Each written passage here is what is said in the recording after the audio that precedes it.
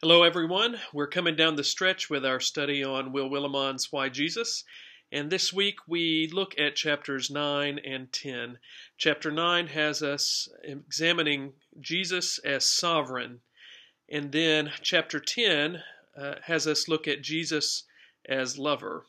Now, sovereign is not a word that we typically use anymore in our culture, at least in relationship to people. So we don't think of calling someone sovereign. Uh, sometimes we talk of sovereign nations or the sovereignty of states. But here we're asked to look at Jesus, this, this one person, and this person that we come to know as the Son of God, as being sovereign, as being uh, the one that rules over our lives. And so Willimon asks us to think about what does it mean for Jesus to truly be sovereign. And he says that in the telling of the stories of Jesus' ministry and even of Jesus' death and resurrection, that from the very beginning all the way through, it seems as if we are being welcomed into relationship with someone who demands that we join in the mission of the kingdom of God. And so when he says that Jesus is sovereign, he really means that Jesus is uh, the one that comes to bring the kingdom here to us now. And um, that in many ways that we are to understand through Jesus, and the church came to understand as well that Jesus actually redefines a lot of our notions of what power is, and even redefines our notion of the kingdom and its timing. In other words, we're not supposed to be people that think that, oh, someday the things of God will begin or come, but that actually in Jesus the kingdom is initiated, that something happens, and that there's this new way of being and living and understanding that God is at work in our lives and the lives of others and the world around us that has already been initiated. That we live in kingdom time, that we live under the reign of God. And so that's what he means that Jesus is sovereign. He wants us to really think about what does it mean to think that Jesus truly does rule over our lives? What would it mean for Jesus' love to rule over our lives and the ways we interact with one another.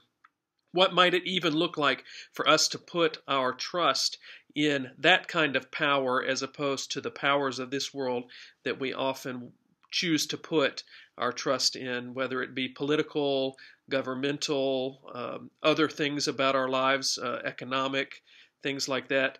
Uh, how does Jesus' reign challenge all of those powers and re, help us reimagine those powers that we submit our lives to. So that's what that's what Willimon will have you exploring, thinking about Jesus as sovereign.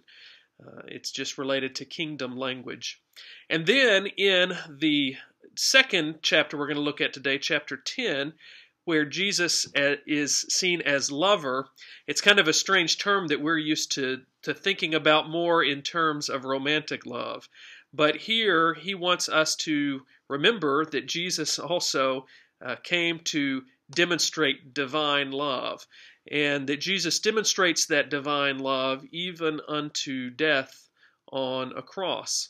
And Willimon is really careful to help us see Jesus in two ways, both to understand that Jesus' ministry and death and resurrection are supposed to have impact that is big impact that is cosmic, impact that shares God's love to the world, but that also that Jesus was human as well, and that, that many of the passion narratives describe the very human plight that Jesus went through on his way to the cross. And uh, Willimon stresses that side of Jesus as well in this chapter and helps us think about the fact that Jesus was determined to follow the will of God, was determined to, to follow the path of the kingdom, and that even if that meant it was going to lead to death, Jesus did that. And so that Jesus demonstrated a suffering love, an obedient love, a love rooted in what God calls us to be when we live into the fullness of our humanity.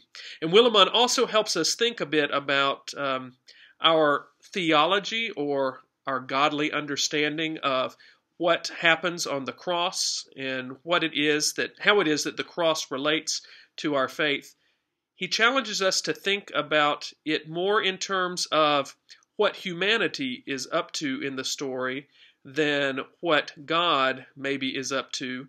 And what I mean by that is what what he says that God is up to is primarily trying to come to people. That the story of Jesus's uh, ministry and then his death and his resurrection is the story of God trying to come to people, to be with us but that really what happens in the Passion story, it's not a story about God's wrathful vengeance uh, and having to kill Jesus to take care of sin, as is so often talked about. But Willimon challenges us to think about it more as this is what happens when God's love is made known that we kill it.